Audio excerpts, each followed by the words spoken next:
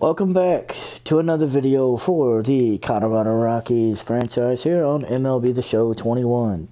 As you can see, you're looking at the standings for the National League West. The Dodgers, after a rough, after a rough little go, have managed to find footing and be at the top of the division. They are at 30 and 19. San Diego Padres, who are just coming off of off of winning a series against us and then starting another series at the end of this month, are sitting at 29 and 19. They're a half game back. The Giants are 24 and 25. They're six games back. We are 22 and 26. We're seven and a half games back. And Arizona is 21 and 28. They are nine games back. They have lost four in a row we're not in last place. I know that seems like a, a strange thing to celebrate, but the fact that I am not sitting in last place right now helps me helps me out a lot. At this point, we're ranked overall 25th. We're 25th in contact, 19th in power, 21st in pitching, 25th in defense, and 21st in speed. I know that I need to do. i I've got to get some. I've got to get some better offense. I, but honest to God, I don't. Honest to God, I'm not sure how. Um, I, I don't want to abuse the trade system, but I'm just trying to figure out how I'm going to get some good offense without trying to overly abuse the trade system. I do have some players that I do want to get moved. Um, we'll get into that here in just a second because we're uh, we're about it looks like we're about to get into draft day. Um, let's see.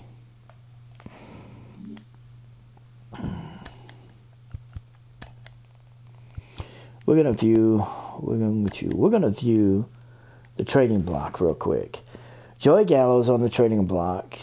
The Mets, Cubs, and A's are all interested.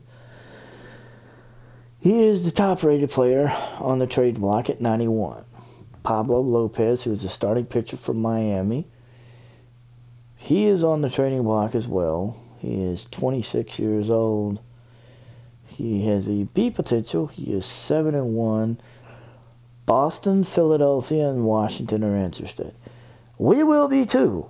I'm going to look into that. I did not know he was on the trade block. I really did not know.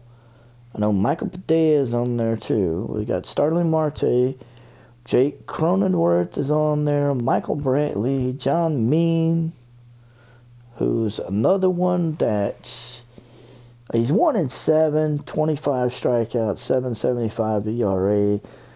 Maybe Maybe we go after him if we can't strike a deal for Pablo Lopez. I don't know. We'll we'll look into that. That will be something that we'll look into. Zach Britton is also on the trading block. The Yankees are fielding offers. Uh, the Brewers, the Nationals, and Miami all seem to be interested. Nicky Lopez with the Rays is on the block, as well as catcher Michael as well as oh I'm sorry, as well as starting pitcher Michael Padilla with the Twins, and then catcher Pedro Severino with the Baltimore Orioles. We could go through this and keep going, but honestly, I don't want to. I don't. I, I don't want to continue keeping up with this. We're gonna get back into the standings. We're gonna look at the America, the National League Central. The Cardinals lead the National League Central by three games over the Brewers. They are 30 and 17. They are on a one game slide. The Brewers are at 27 and 20. They are on a two game winning streak. The Reds are 27 and 21. They are on a two game losing streak. Cubs are 26 and 21. They're on a two game losing streak.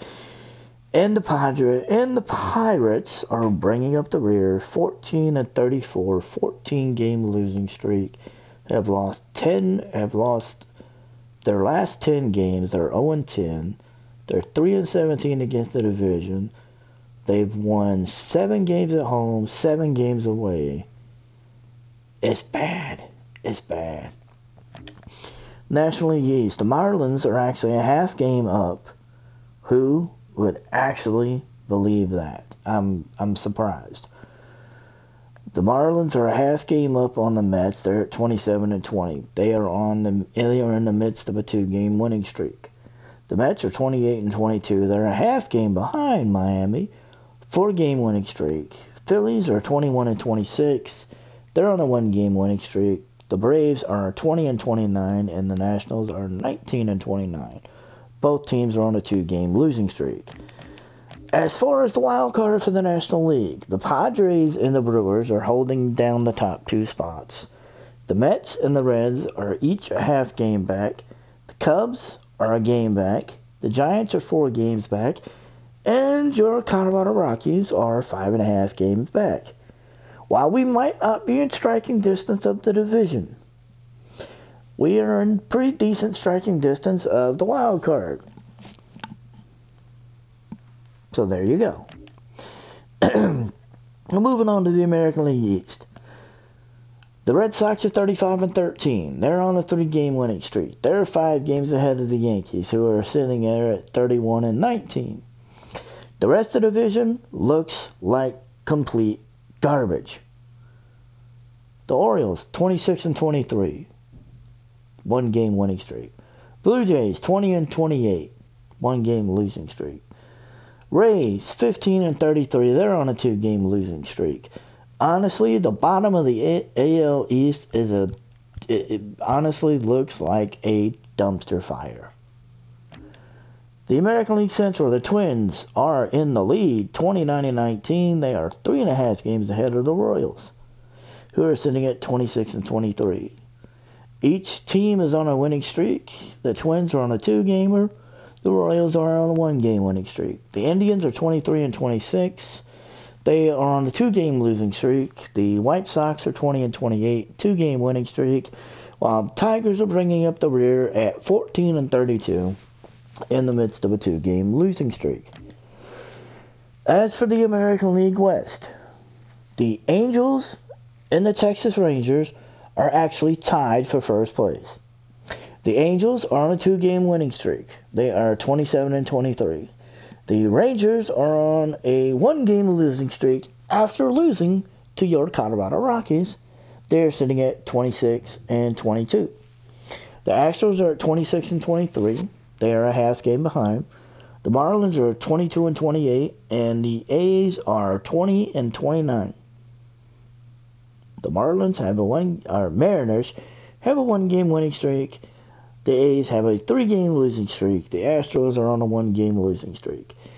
As far as the wild card goes, the Yankees, the Angels, and the Rangers are holding it down. Basically, if you get basically the leader of the AL West would be out, second place would be in. Royals, Astros, and Orioles are all a half game behind the wild card. The Indians are three and a half.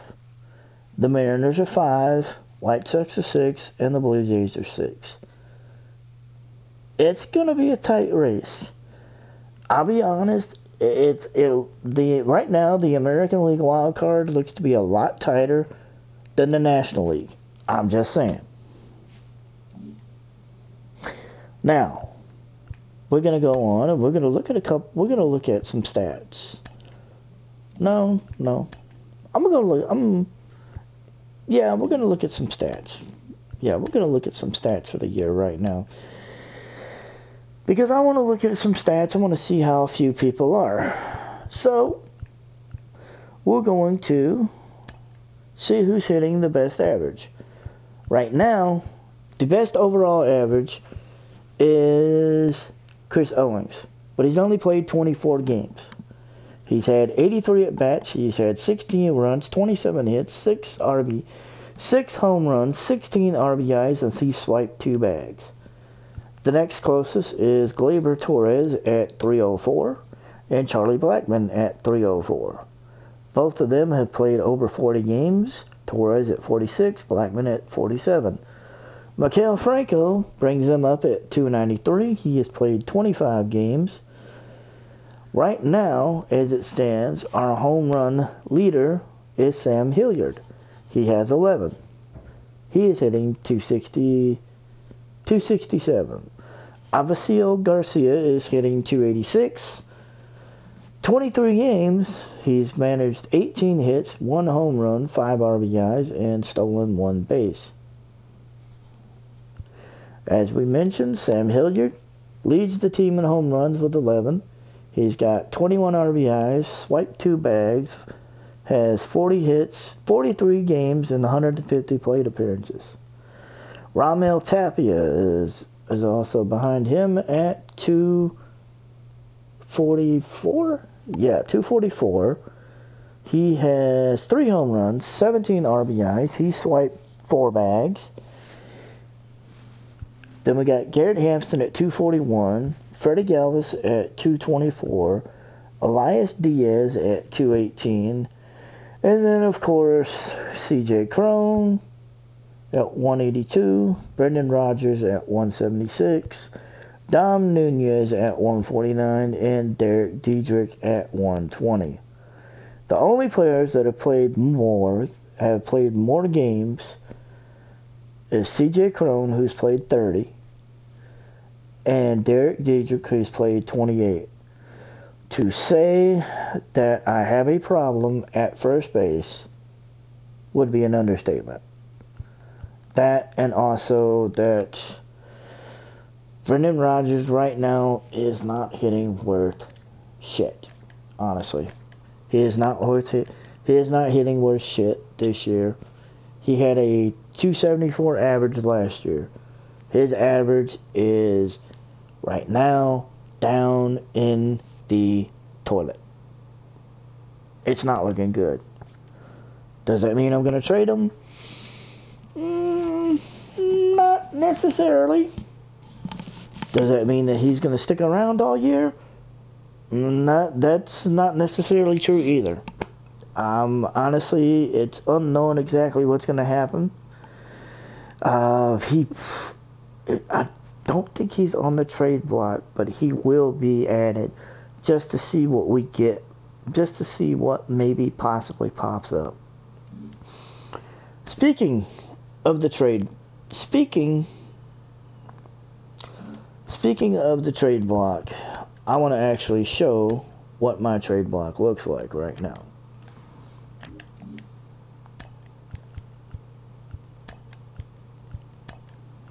I have Josh Lindblom on the trade block. I am looking for a starting pitcher. I'm looking for a catcher. I'm looking for a first baseman. I'm looking for a third baseman, and I'm looking for a center fielder. I probably will, well, I would add second baseman, but I need to pull one of these off. And honestly, I don't know which one to pull off, so I'm not pulling one off. Anyway, uh, sorry about that. I'm trying to. Alright, we only have two people on the trading block right now. We have Josh Lindblom and we have Carlos Estevez. I will be adding Brendan Rodgers to the trade block just to see what what uh, what offers come up for him. We will be we will be scouring the trade block. Uh, like I said, I mean we looked at the we looked at the full trade block. Um, Pablo Lopez is a is, is a player that we're interested in. We do need some help with the starting pitching we need some help with the bats. So I don't know. There's a possibility. We might even look at Starling Marte and see what we see what we can get for Marte. I mean, for crying out loud, I may even go knocking on Texas's door and ask about ask about uh, ask about Joey Gallo and see what comes from that. I, at this point, I don't know. I really don't uh, real quick, we're gonna hit. We're gonna take a quick look at the pod. We're gonna take a quick look at the top prospect list. The very top prospect on the top prospect list right now is starting pitcher Ryan Weathers of the Padres. He is still in the AAA organization. As it stands right now, all of the top 15 prospects are still in the minors. Jasson Dominguez is in AAA with the White Sox. Brian Stout is with the Phillies. Grayson Rodriguez is with the Marlins. Seth Corry is with the Giants. Bobby Witt Jr. is with the Mariners.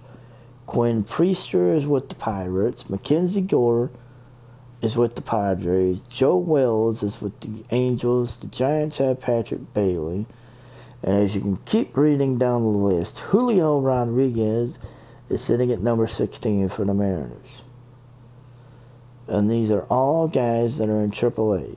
We don't find another guy who is in a lower organization than AAA until you get down to number 20 at Matthew Allan. He is a starting pitcher and he's with the Mets. He's in the Mets Double A. The next one is D.L. Hall. He's a starting pitcher as well. He is with the Baltimore Orioles.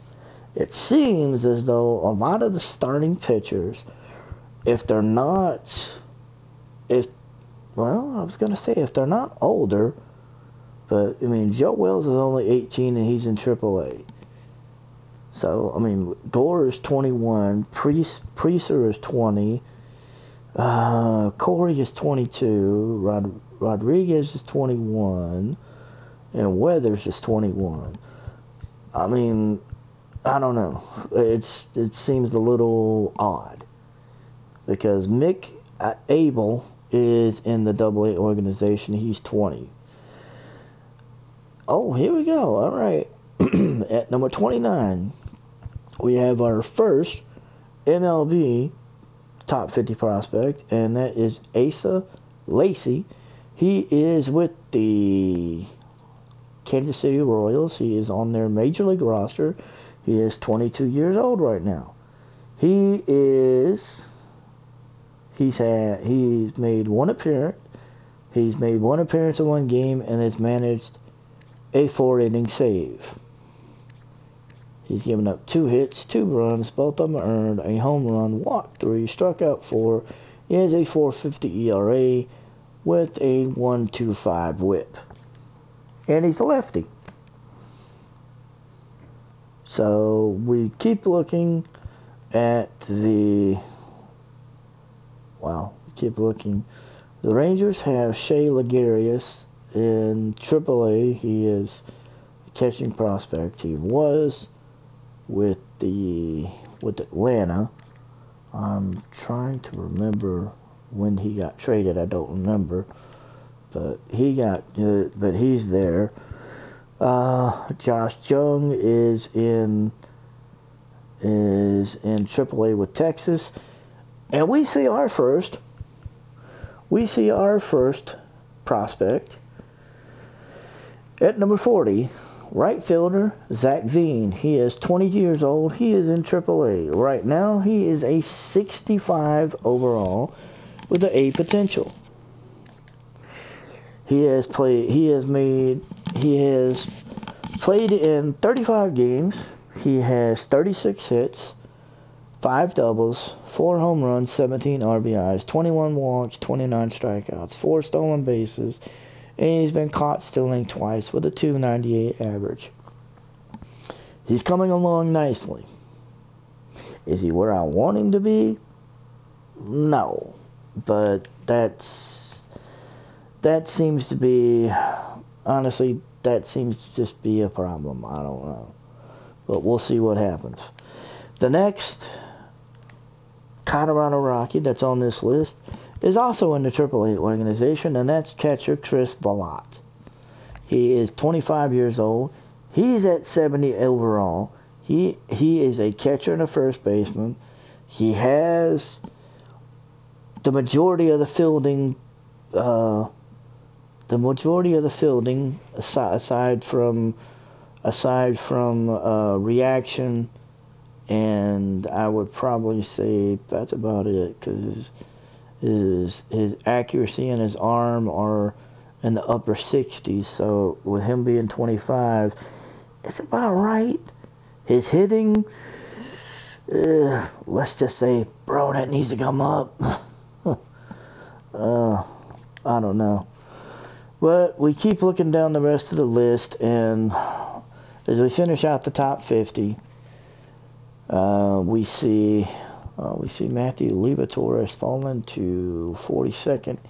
he, if I'm not mistaken, when I saw him early in the season, he was higher up.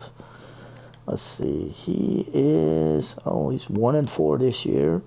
In nine games, he's had 41 innings pitched, 44 hits, 27 runs, 26 of them have been earned, 9 home runs, 16 walks, 41 strikeouts, 571 ERA. His Matthew Liberatore's just he's not he's not having it right now. And that's okay. He's still young, he's 21. The rest of the prospects are on the top 50 after Chase Ballett. Jarred Kelly is with the Rockies. Bubba Thompson is on the Rangers Major League squad. Uh, it's the Texas Rangers, so the fact that he is on their major squad is not really that big of a surprise. He's played in 16 games. He has a 197 average. The bigger question is, will he stay there for the rest of the season? I don't know. We'll see. Royce Lewis is at number 47. He is in AAA with the Twins. Erick Pena is in center fielder with the Royals. He's in AA. Josh Burnham is a catcher with the Royals. He's in AAA. And Greg Jones is a shortstop with the Rays. He is in AAA. A lot of these prospects are still young. I mean, you've got a couple of guys who are 18. You got a couple of guys who are 24, 25, early 20s. They're, you know, they're starting to make their strides. Uh, it's going to be interesting to see what happens. Uh, we have the draft coming up here.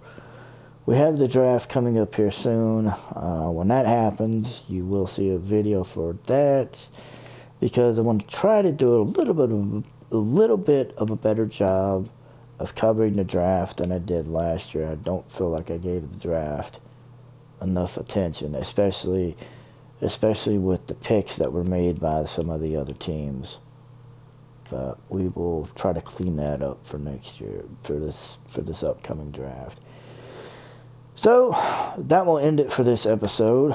We are looking at the last game of a two-game series against the Texas Rangers. That is Merrill Kelly versus Huang Yang Yang. Yang is six and two. Kelly is two and three. So you know, make of that what you will. But uh, that's it. And that has been your recap for the month of May. Um, as I said, we will, as I said, when the draft happens, we will see a video for that. And we will continue the march onto the season. Hopefully, we can continue our climb, seeing as though we're now in fourth place in the division maybe we can put some more distance between us and Arizona and make a run for second, make a run for third place at least. Try to finish. I know it may seem a little funky, but I want to try. You know, at this point, I'd like to finish number three in the division. I feel like if I can finish number three, that might put me above 500 for you know for something. So we'll see. And that will be the end for this video. We will be back with another. As always, thank you for checking this out here on MLB The Show 21 with the Colorado Rockies. Y'all have a great night.